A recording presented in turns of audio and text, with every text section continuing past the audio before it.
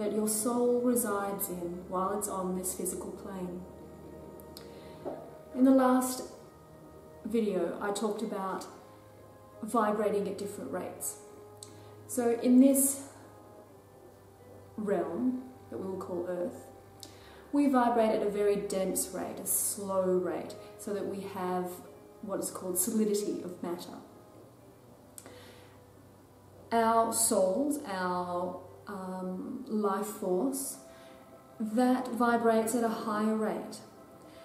But for it to be able to do what it needs to do on this plane, on Earth, it needs to have a suit. So you think about your body almost like a spacesuit that your, that your soul uses and animates and becomes part of every cell. So it's, an, it's a living spacesuit, a living temple. Now, what we put into this temple makes up the temple. And we have that garbage in, garbage out. Same thing with the mind. Garbage in, garbage out. So when you're putting into your body food that is you wouldn't really class as food, then your body cannot move and work at its optimal level. So there is a quote by Hippocrates Let thy food be thy medicine, and thy medicine be thy food. So what you put in is what you get out. So you need to be mindful of what you eat, but also what you eat eats.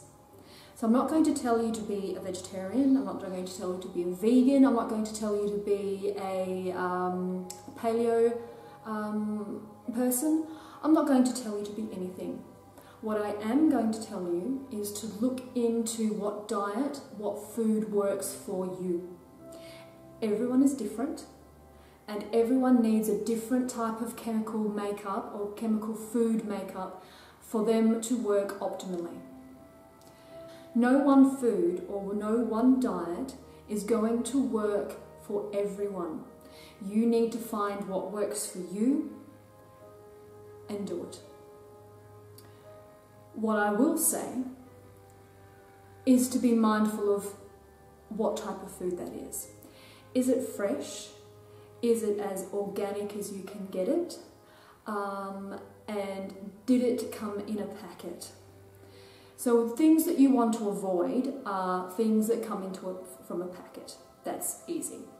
You want to have the freshest, most basic food that you can. So it is the rawest that you can have. And by raw, I mean unprocessed. Someone hasn't put it into a packet, someone hasn't sliced it up for you, someone hasn't done something to make it easier for you.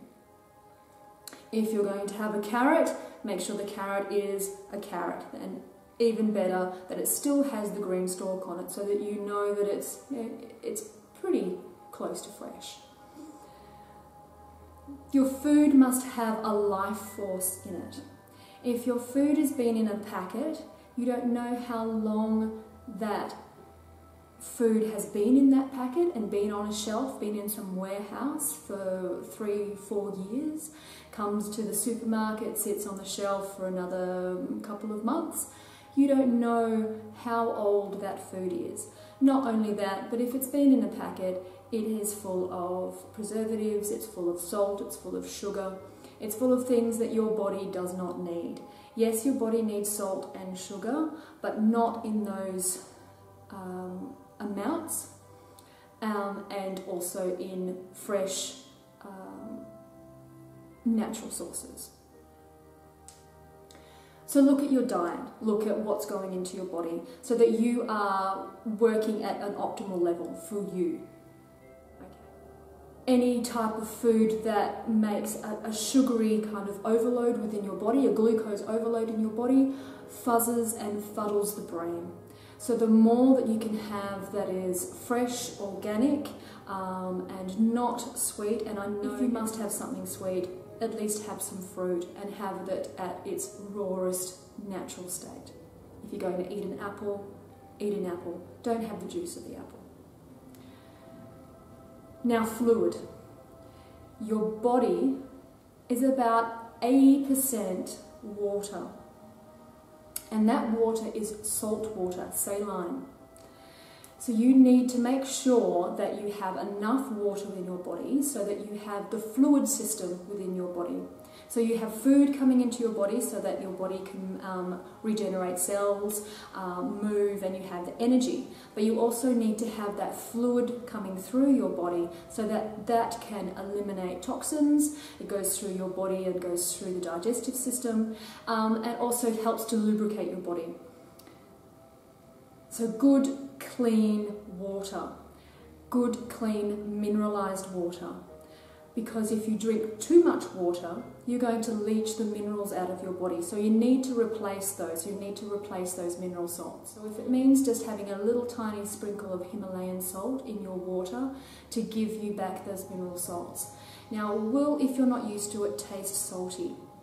Um, but if you have, if you've ever drunk um, Evian water, you will know that it has those mineral salts in it, and it does taste a little salty if you're not used to it. But your body will love you for it. If you're drinking a lot of water, remember you need to replace those mineral salts. Water, make sure that it is not chlor chlorinated and fluoridated. So fluoride and chlorine, you want to make sure that you, you get rid of those. Now chlorine is used to uh, get rid of bacteria. Too much chlorine in the water, and you also have irritable bowel syndrome, you might want to look into stopping drinking most of that tap water because it could be the fact that you are drinking too much chlorine in your water and it is affecting your, your uh, digestive system. Also, fluoride. Fluoride is put into the water in the guise of saying that it is good for your teeth. Um, so do a little bit of research, find out for yourself uh, what your ideas on that. We will be talking about. Sometimes it's worse before it gets better. If you have been putting into your body, um, let's just say crap, for a long time, your body is now trying to filter all that crap out. And in that process, you may feel like crap, okay? Keep going, keep with it, um, because you will feel better. And I will say that if you are starting on this process, don't have an all or nothing approach. Don't go, right, I'm going to be healthy, I'm going to do this, I'm going to take everything out that I don't, that's not healthy, and I'm just going to have, I'm going to do a vegan lifestyle. If you do that, you will hurt yourself. You will fall over on your face and you will fail. Unless you have an iron will. One, because you are going to be shocking your body. Two, you are going from one flip to another with a lifestyle. You're going from eating, say, let's use an example, you've had McDonald's three times a week for the last five years. You drink Coke um, or, or, or, some other um, soft drink uh, regularly, like all the time. You, you don't even know what water looks like. Um, you eat lollies, you eat chips, you, you haven't seen anything um, remotely green on your plate for five years either.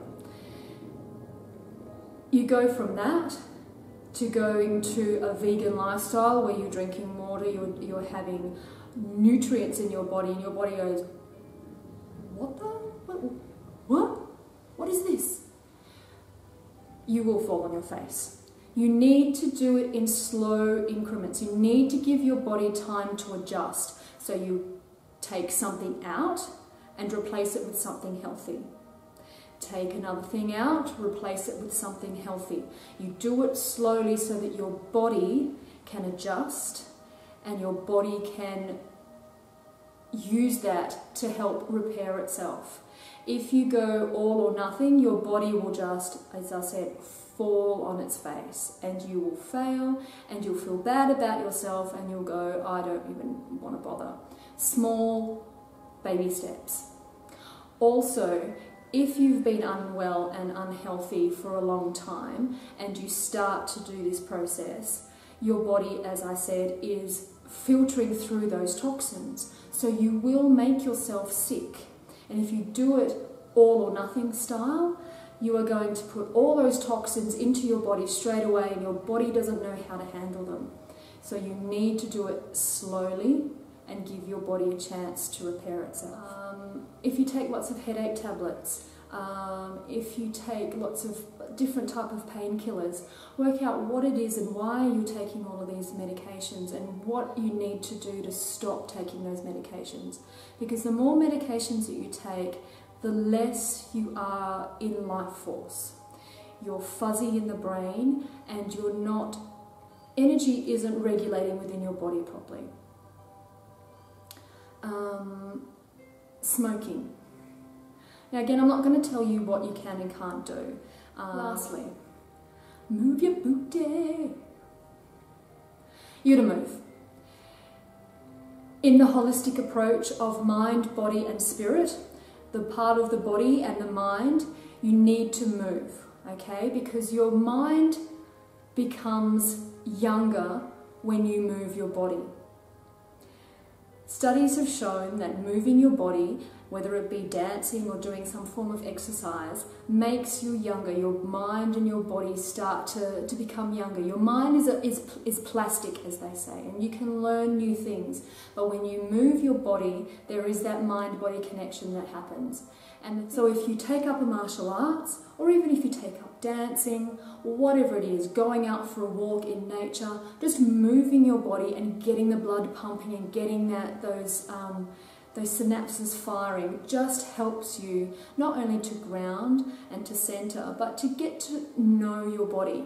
So many people sit and they are all in the mind, they're all in their head, and they have no concept of what their body is doing.